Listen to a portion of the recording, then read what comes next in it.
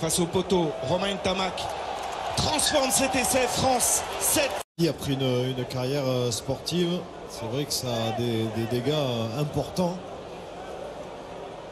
Et avec la pression hein, qui a été mis, euh, mise en place aussi autour de Dan Bigard cette, cette semaine, aucun risque pris au, autour de George North. On va d'abord lui souhaiter un bon rétablissement. On va pas se réjouir de sa sortie. Non. C'est un joueur important dans le dispositif. Allez, Romain Tamac, elle est importante cette pénalité en coin.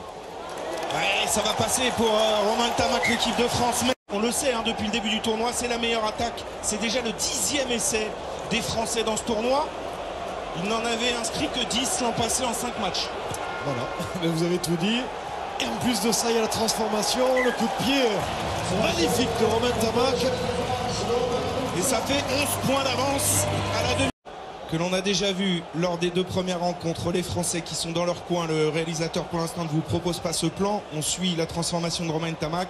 Ça fait partie des moments, euh, la fameuse respiration collective où on doit reprendre, faire redescendre le rythme cardiaque, retrouver de la lucidité pour euh, bien négocier le renvoi. Et en attendant, il est impérial, Romain Tamac. 63e minute de jeu. Il peut donner 11 points d'avance à l'équipe de France.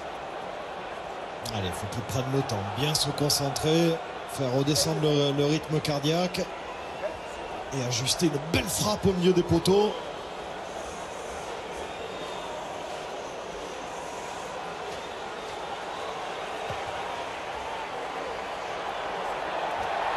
Et elle est belle Cette pénalité de Romain Tamac, le point serré à la 63e minute.